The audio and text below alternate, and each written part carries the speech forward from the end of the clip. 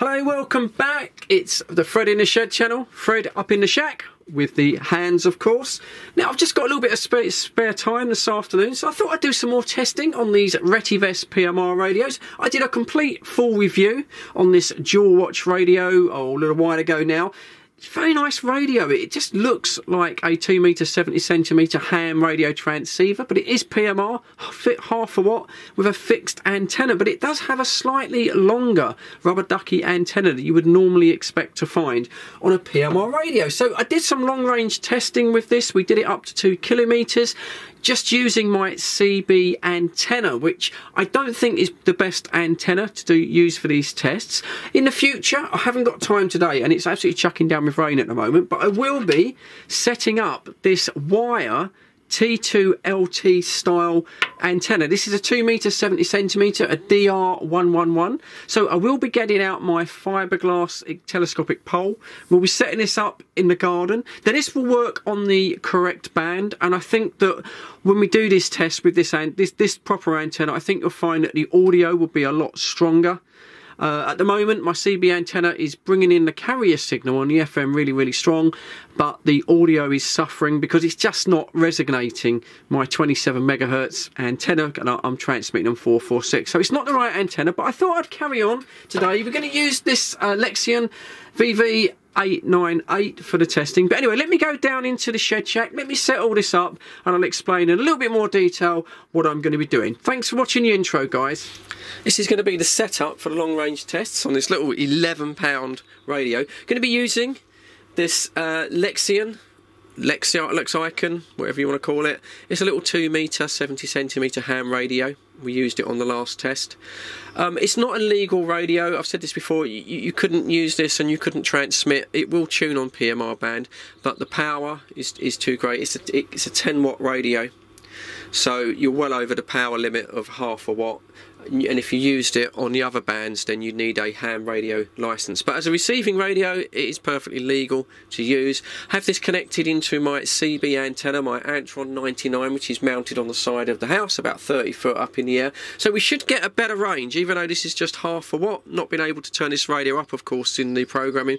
But we should get a little bit more range. And it would just be interesting to see how far this radio will transmit back to home with a longer antenna. So let's go out on the road and do that. Audio check, audio check at three quarters of a kilometre here, three quarters of a kilometre on an 11 pound radio. Audio check, audio check at three quarters of a kilometre here, three quarters of a kilometre on an 11 pound radio. One, two, one, two, one, two, audio, audio, audio, audio. Audio check, audio check one two, one two on a cheap radio, on a very cheap radio. One kilometre now from the QTH. One kilometre. Audio check, audio check one two, one two on a cheap radio, on a very cheap radio. One kilometre now from the QTH. One kilometre. Audio one two, audio one two three four, audio one two. That's quite a shout. It struggled at a kilometre last time, so let's hope it does a little bit better. Right, let's move on. I think we'll try two kilometres, which is a pretty big ask for an 11 pound half watt radio. Right, this is a really big shout. Two kilometres in that direction, in a built up area, the antenna. Half a watt, 11 pound radio, fixed antenna. Big shout. Yeah, audio check one, two. Audio check one, two, one, two. 11 pound PMR radio, two kilometres.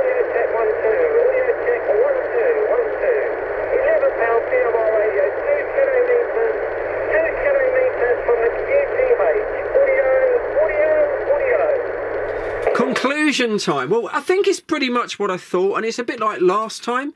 The carrier signal, the FM carrier signal from this little half watt radio, really was picked up nice by that 18 foot Antron 99 CB antenna. It is up really, really high on the side of the house.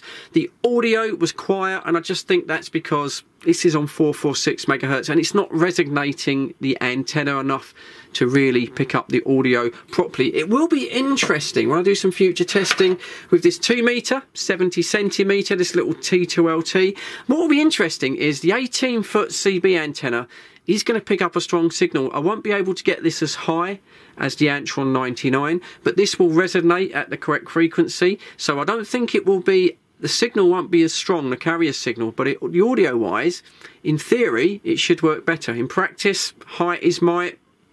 I don't know. It could go, it could go either way, but it's all a bit of fun. It's all about testing and experimenting. But once again, this little 618 little radio was 11 pounds from Retevis. I'm quite impressed with it. I really am. I, I did like this uh, radio. I did a full review on this. If you've missed it, I'll leave a little pop up at the end. I'll probably put it in the description as well if you want to go away and look at the review on this radio because it's quite amazing what you get for £11 nowadays, what they can do. So there you go. I hope you enjoyed that. Just a little bit of fun in the afternoon.